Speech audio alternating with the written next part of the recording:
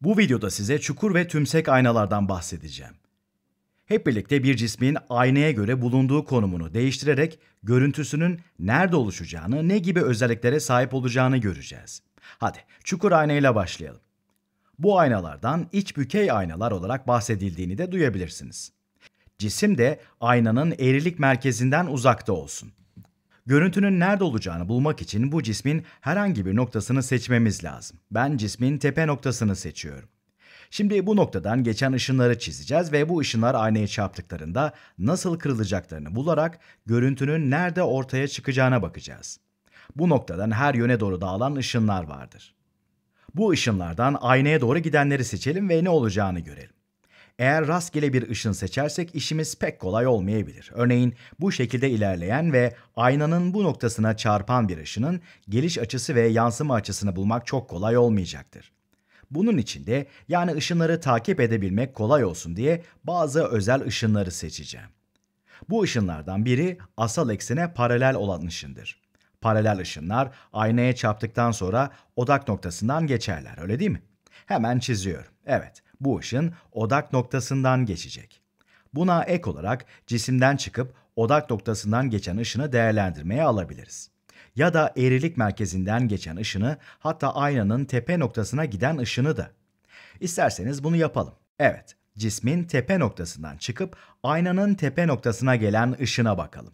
Bu ışını sevmemin nedeni şu asal eksen tepe noktasında normal doğrusunu oluşturuyor. Çünkü eğrilik merkezinden geçiyor ve bu yüzden geliş açısını ve yansımadan sonra yansıma açısını bulmak çok daha kolay. İşte böyle. Bu iki ışının yansımasından sonra bu noktada kesiştiklerini görüyorsunuz değil mi? Bu noktada bunlara ek olarak daha fazla ışın çizseydik hemen göstereyim. Evet bunu yapmak belki çok zamanımızı alırdı ama bunların hepsini çizebilseydik buna benzeyen bir çizimle karşılaşırdık. Çizim biraz karışık ama ışınların hepsinin yansıdıktan sonra bu noktaya düştüklerini görüyorsunuz değil mi? Bunun sonucunda da tam buraya bir perde yerleştirecek olursak ışınların odaklandıkları noktadan bahsediyorum. Bu noktanın çok net bir görüntüsünü elde ederiz. Noktanın net görüntüsü sadece bu noktada elde edilebilir. Neden diyecek olursanız, bakın perdeyi kaydıracak olursak ışınların aynı noktada kesişmediklerini görebilirsiniz. Bu yüzden de elde edeceğimiz görüntü bulanık bir görüntü olur. Aynı durum bu nokta için de geçerli. Sadece ve sadece bu noktada net bir görüntü elde edebiliyoruz. Perdeyi şimdilik bir kenara bırakalım. Görüntünün nerede ortaya çıkacağını, ışınların kesiştikleri noktayı bularak başlayabiliriz. Ama ışınların hepsi aynı noktada kesişecekleri için ışınların hepsi yerine sadece iki tanesini çizmemiz yeterli olacak. Diğer ışınları da silelim ve cismin tepe noktasının görüntüsünün tam da bu noktada olacağını söyleyelim. Hemen işaretleyelim. Cismin üzerindeki başka bir noktayı seçip aynen bu nokta için yaptığımız gibi ışınları çizecek olursanız o noktanın da buralarda bir yerlerde ortaya çıkacağını bulacaksınız. Cismin en alt noktası da aynı mantığı izleyerek tam bu noktada oluşacaktır. Sonuç olarak cismin görüntüsünün de buna benzeyen bir şey olacağını söyleyebiliriz. Perdemizi de buraya getirelim. Cismin görüntüsünü net olarak bu şekilde elde edeceğiz. Görüntü F ve M noktaları arasında ters, gerçek ve cisimden daha kısa olacak. Gerçek demek görüntüyü perde üzerinde elde edebilmek yani bir noktaya odaklayabilmek anlamına gelir. Size hemen bunun nasıl olacağını da göstereyim. Çukur ayna burada. Bu cismimiz, bu da ekran. Cisim az önceki gibi aynanın eğrilik merkezinden uzakta. Cisimden çıkan ışınları da çizelim. Tam da bu noktada odaklanıyorlar. İsterseniz görüntüyü de görebiliriz. Işıkları kapatalım. Bakın işte burada. Cisim ters ve net bir görüntüsünü elde ettik. Süper. Bu gözün bizim gözümüz olduğunu düşünelim. Bu şekilde ışınlara bakıyor olursak beynimiz ışınların bu noktadan çıktıklarını düşüneceği için görüntüyü bu şekilde görebiliriz. Bakın aynaya bakarsak cismin görüntüsünü aynen bu şekilde görebiliriz. Cisimden daha kısa ve ters. Aynı tekniği kullanarak bir de cisimlere yaklaştırırsak ne olacağına bakalım mı? Evet, cismi buraya bir yere taşıyalım. Şimdi ne olacak dersiniz? İsterseniz hemen videoyu durdurun ve ışınları kendi kendinize çizmeyi deneyin.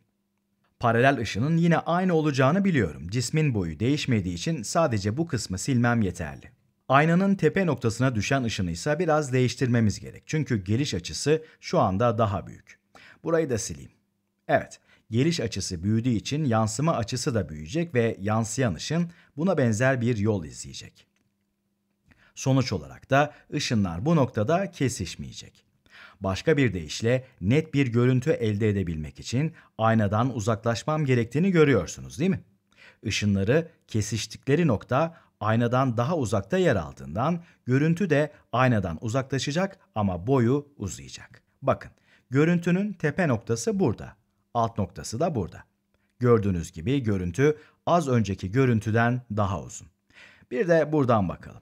Cisim aynaya yaklaştığımızda görüntünün net olması için perdeyi aynadan uzaklaştırmak gerektiğini görüyorsunuz değil mi? Görüntü de az önce söylediğim gibi büyüyor. Bu şekilde devam edip cismi de eğrilik merkezi üzerine getirirsek görüntü de M noktasında oluşur. Ve bu noktada görüntü ile cismin boyutları aynı olur. Bakın cismi M noktasına getirdim. Görüntünün tam da cismin altında olduğunu ve boylarının aynı olduğunu görüyor olmalısınız cismi biraz daha yakınlaştırmak istiyorum. Şimdi de F ile M noktalarının arasına koyalım. Işınları da çizelim. Evet, ışınların bu noktada kesiştiklerini görebiliriz. Evet, cismi buraya yerleştirirsek görüntü M noktasının gerisinde ve cisimden de büyük olarak ortaya çıkar. Burada da görelim. Cisim F ile M arasında. Perdeyi nereye koymamız lazım? Buraya. Bakın ışıkları kapatıyorum. Tada! Görüntünün ne kadar büyük olduğunu görüyor musunuz? Harika değil mi? Cismi aynaya yakınlaştırdıkça görüntü de aynadan uzaklaşacak ve boyu da uzayacak. Cismi odak noktasına koyalım. Bu durumda ışınların paralel olduklarını görüyor musunuz? Bu ışınların asla kesişmeyeceği ve cismi bu noktaya koyduğumuzda bir görüntü elde edemeyeceğimiz anlamına gelir görüntünün sonsuzda olduğunu söyleyenler de vardır. O halde neymiş? Cisim odak noktasında olunca görüntü oluşmaz. Ama bu noktada durmayalım. Ne dersiniz? Gelin cismi bir de T ile F arasına koyalım. Buraya. Işınların yansıdıktan sonra birbirlerine uzaklaşmaya başladıklarını görüyor musunuz? Bu gerçek bir görüntü elde edemeyeceğimiz yani görüntüyü bir perdeye düşürmenin mümkün olmayacağı anlamına gelir. Ama burada kocaman bir göz olduğunu düşünürsek beynimiz bu ışınların buradaki bir yerdeki bir noktadan çıktıklarını düşünür. İki ışın birbirinden uzaklaşıyorsa beynimiz ışınların bu noktadan çıktıklarını düşünür. Sonuç olarak da bu noktanın görüntüsünü burada bir yerlerde ve yine bu noktanın görüntüsünü de burada elde ederiz. Asal eksendeki bu noktanın görüntüsü de burada olur. Beynimiz bu ışınların gerçekte böyle olmasa da bu cisimden çıktıklarını düşüneceği için gerçek ama sanal bir görüntü görürüz. Işınlar bu noktadan değil aslında bu noktadan çıkıyorlar. Yani bu konuda beynimiz yanılmış olur. Bu görüntü gerçek olmasa da anlattığım durum sebebiyle görüntüyü görebiliriz ve az önce de söylediğim gibi bu sanal görüntü olarak adlandırılır. Böyle normal yönde görünen bu görüntü perdeye düşürülemez. Ayrıca daha büyüktür. Mesela şunla kıyasla çok daha büyük değil mi? Sanal denmesinin sebebi de ışınların aslında bu noktadan çıkmaması, sadece çıkıyor gibi görünmesi. İsterseniz burada da bakalım. Cisim aynaya çok yakın ve asal eksenin içinde. Böyle yapınca perdeye ihtiyacımız olmayacak ama aynaya bakarsak kocaman ve sanal bir görüntü göreceğiz. Sanal görüntü artık ters değil ve cismin kendisinden çok ama çok büyük çukur aynalar büyük sanal görüntüler oluşturabilir. Tıraş ya da makyaj aynası olarak çukur ayna kullanmamızın sebebi de budur. Cisim aynaya yaklaştıkça görüntü yine sanal ama biraz daha küçük. Özetlersek, cisim odak noktasının dışında olduğu sürece görüntü gerçek olacak. Odak noktasının içinde ise sanal. Cisim odak noktasına yaklaştıkça görüntü de büyür. Bunları ezberlemenizi istemediğim için not etmeyeceğim. Bu videoyla ışınları çizerek bu bilgilere ezberlemeden ulaşmayı öğrenmenizi istiyorum. Bu yüzden de tümsek aynalar için nasıl sonuçlarla karşılaşacağımızı öğrenmek üzere bu ışınları kendi kendinize çizmenizi istiyorum. Yine de üzerinden geçecek olursak tümsek aynada yansıtıcı yüzey buradadır. Bu yüzden cismi bu tarafa taşımamız gerekiyor.